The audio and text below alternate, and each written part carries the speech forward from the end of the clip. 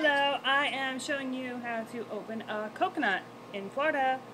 We have a ton of coconuts laying around that get cut off the trees.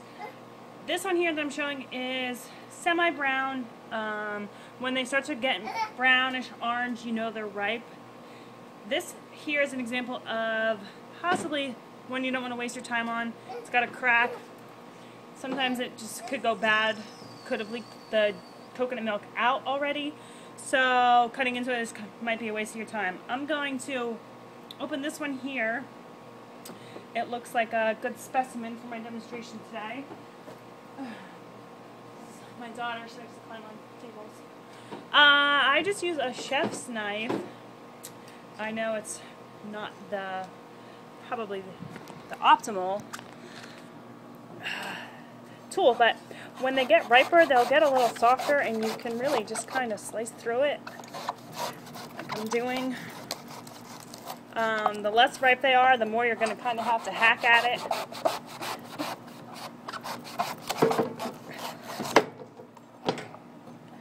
Now I'm placing mine on a grill side here. Um, I've done it on the ground before. As long as you're focused and you're not getting the knife close to your fingers,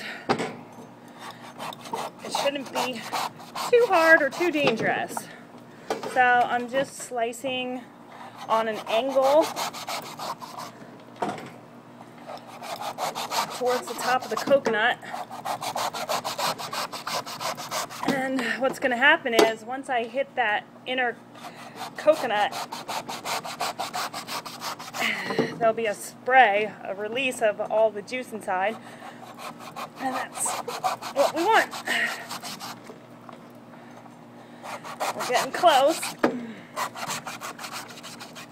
And this one's to give me trouble with the hard entrance here. See, you hear that? That's our coconut inside the shell. I wish I chose a better cantaloupe coconut. Ah, there we go. Alright, I just was able to release some of the pressure. Sometimes you can even get a drill and from this point just drill a nice little hole. But what you're looking for optimally,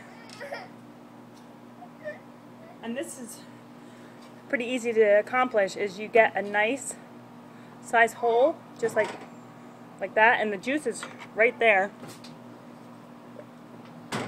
I mean, it's filled to the top. It's delicious, fresh coconut water. You no longer have to buy it in the store. I can't help myself. Reese, would you like some coconut juice?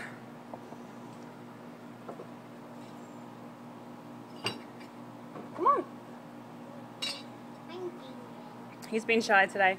But uh, if you have any sicknesses, uh, hot summer, working out, coconut water. Cheers.